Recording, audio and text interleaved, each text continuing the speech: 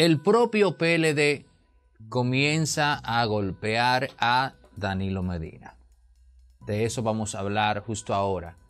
Pero también vamos a hablar de Luis Abinader y su ocurrencia de un Ministerio de la Justicia. Dos temas en este capítulo. ¿Por qué no es tan buena idea ese Ministerio de la Justicia? ¿Y por qué en, en su efecto el presidente Luis Abinader pudiera estar viéndonos la cara de idiotas, copiando una estrategia de Leonel Fernández y lo de Danilo? Vamos a todo esto justo ahora en Impolíticamente Correcto. Danilo y el PLD por un lado y Luis Abinader y su justicia independiente por el otro, como en los viejos tiempos.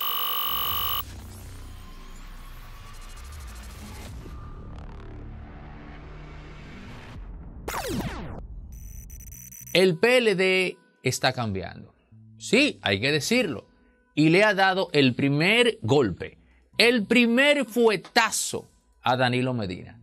Señores, la elección del director de campaña de Abel Martínez, que recae en la figura de quien yo he dicho que es el más exitoso director de campaña de la política dominicana. Más de seis procesos electorales gananciosos. Me han dicho que son nueve.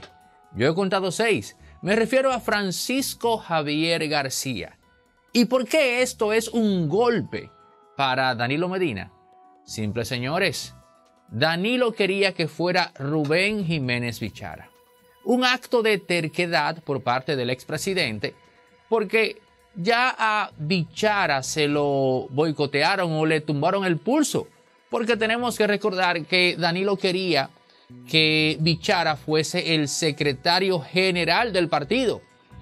Pero en una reunión que sostuvieron Monchi Fadul, el mismo Francisco Javier García y quién más, quién más del partido, otro miembro en esa línea de la OTAN, se juntaron con Danilo Medina en una de las casas de Francisco Javier y le dijeron, mira papá, si tú quieres ser presidente del partido, no hay problema. Ahora, tú no puedes ser presidente de la organización y tener al mismo tiempo la Secretaría General. Ahí fue que se zanjó el asunto de que tenía que ser sí o sí Charlie Mariotti. Pero en esa jugada hay que decir que Danilo Medina terminó ganando. Porque al final del día lo que ocurrió fue que Danilo Medina terminó cooptando a Charlie Mariotti. Danilo usó sus artes de incepcionador y terminó haciendo de Charlie Mariotti lo que él quería o lo que iba a hacer Rubén Jiménez Bichara. Pero en esta ocasión, él quería que Bichara fuera el director de campaña de Abel Martínez, pero no. La OTAN, que es la cúpula en la cúpula del PLD, como dice Rafael Paz, se impuso. Y le hizo saber a ese mismo Danilo Medina que el director de campaña tenía que ser Francisco Javier García. Y esto es interesante es decir, la elección de Francisco Javier, porque estamos hablando de un individuo que hay que reconocerle que ha sabido ser equilibrado en el sentido de que usted no puede decir que él fue leonelista. Usted no puede decir que Francisco Javier García fue danilista. No, Francisco Javier García todo el tiempo supo qué ficha jugar y punto. Así de simple. Hay que decir que Francisco Javier García todo el tiempo en el juego de poder ha tenido luz propia. ¿Qué significa esto? Francisco Javier no es un hombre influenciable por Leonel. Ojo con eso, ¿eh? Francisco Javier no es un hombre influenciable por Danilo Medina. Es un hombre que se mantiene equidistante de cara a ambas aguas y que con toda seguridad lo que le interesa es que Abel Martínez sea presidente. Claro está, él tiene sus intereses con esto. Yo no sé si él quiere repetir como ministro de Turismo, no sé. Pero lo cierto es que ser director de campaña de Abel Martínez le dará tanto o más poder momentáneamente que el mismo Danilo Medina. Y ahí es donde está la razón por la cual Danilo no quería que fuera su amigo Francisco Javier. Porque ahora significa que en el partido ya existe una cara visible de hacia dónde dirigirse en caso de que usted no pueda ver a Abel Martínez. Y esa persona hacia donde usted va, a quien usted le va a tocar la puerta, es a Francisco Javier García, no a Danilo Medina. Porque ocurre que como si Bichara en efecto es danilista, todo lo que elegirasen a Bichara, Danilo Medina iba a tener conocimiento de eso. Y el resto del comité político no tenía o no tiene interés en que las cosas del partido se sigan canalizando a través de Danilo Medina, a pesar de que él es el presidente de esa organización. Más claro, o tengo aún que explicarme mejor. Señores, en torno a la elección del director de campaña, había también su jueguito de poder. A Danilo le convenía que fuera Rubén Jiménez Bichara, porque eso le permitía, digamos, eh, canalizar, tener información en sus manos, gran parte de lo que tiene que ver con el proyecto de Abel. Pero la OTAN no estaba en eso. Nadie mejor, según ellos, para eso que Francisco Javier García un elemento neutral a las intenciones de Danilo. Pero eso, a su vez, al expresidente Medina le causa ruido. Porque ya queda claro que si usted no se va a ver con Abel, bueno, con quien tiene que hablar es con Francisco Javier García. En pocas palabras, Danilo Medina acaba de recibir su primer gran golpe en el partido el proceso de erosión del liderazgo de Danilo apenas comienza y este ha sido el primer fuetazo.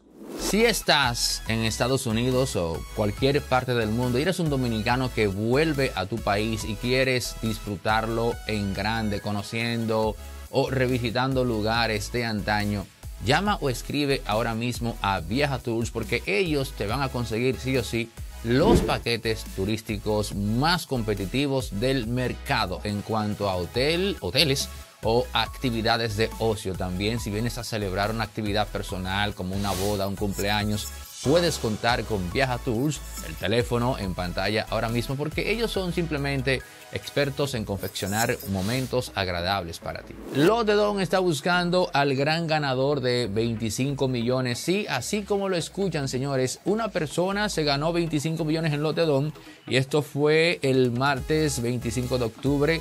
A las 10.25 de la mañana se jugó este ticket y el número ganador fue, eh, o los números ganadores fueron el 46, el 49, el 74 y el 50. Y esto fue en Puerto Plata. Atención gente de Puerto Plata.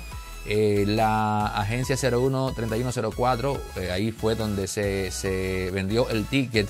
Y repito los números 46, 49, 74 y 50. En Puerto Plata está el ganador de los 25 millones de lote Farmacia Medicar GBC es la farmacia de los dominicanos abierta de lunes a domingo con los medicamentos de la diabetes e hipertensión a un 30% de descuento, amén de su habitual, de su habitual 20 en los demás. Farmacia Medicar GBC. Eres dominicano, puedes contar con ella.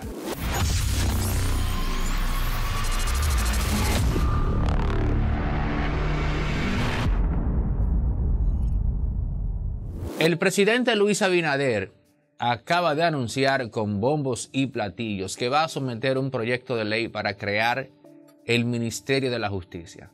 Muchos de ustedes le van a celebrar eso, ingenuos, que no advierten lo que está pasando o cuál es el juego de poder detrás. Pero justo antes de llegar a ese punto, quiero hacer una advertencia.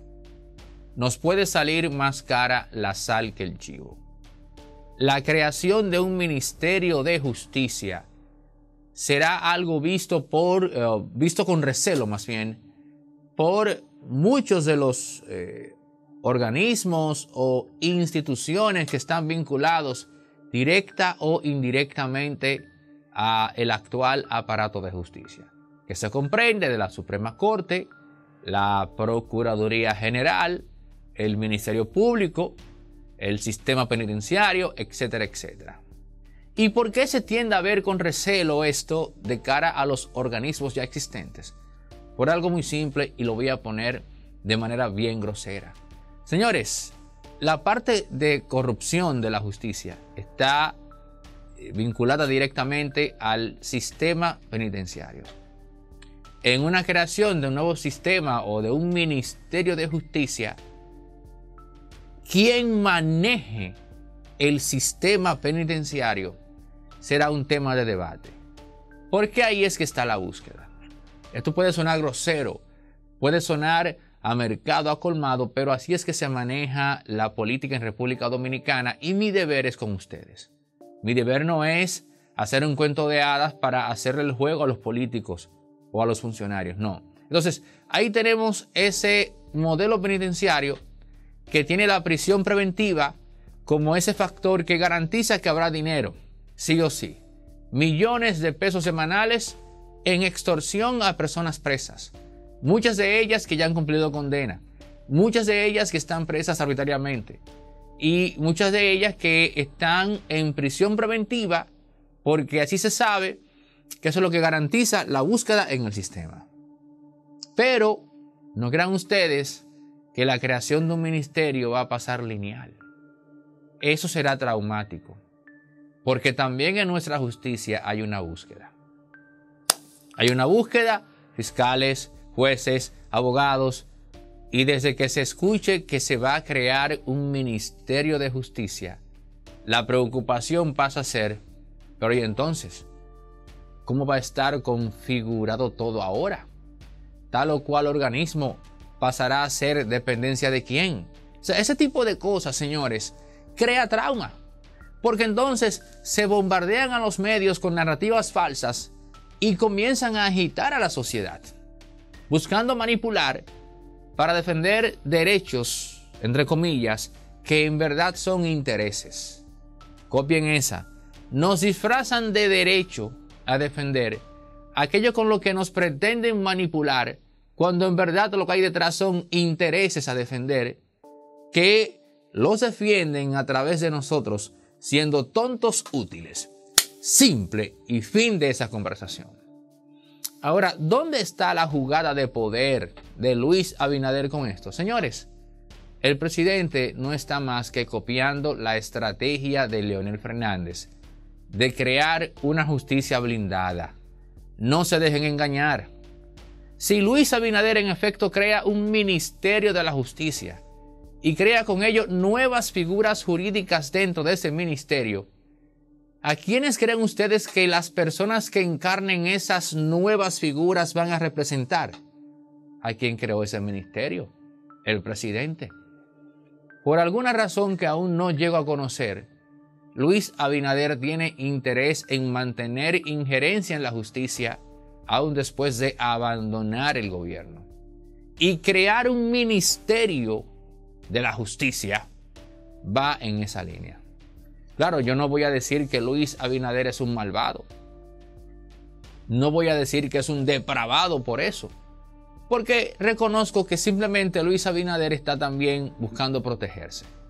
Y que eso es válido en el juego de poder. Quizás de repente eh, lo planea hacer de la manera más limpia posible. Porque de repente nadie puede decir que hay corrupción en la creación de un ministerio de justicia. Pero no sea ingenuo, no se llame usted a engaño. Toda aquella persona que ocupe un rol de importancia en ese ministerio de la justicia y que llegó ahí gracias a la ocurrencia y gestión del presidente, en efecto se deberá al presidente. Pero además, usted y yo no podemos ser tan ingenuos y pretender pensar que Luis Abinader va a permitir con buenos ojos que ocupen cargos de poder personas ahí que él sepa o infiera que van contra sus intereses políticos. Y no lo digo por el PLD, no señores, lo digo por el propio PRM. Porque ¿dónde está la oposición principal que tiene Abinader ahora mismo? Está en su propio partido con el ingeniero Alburquerque y con el doctor Gómez Mazara a la cabeza.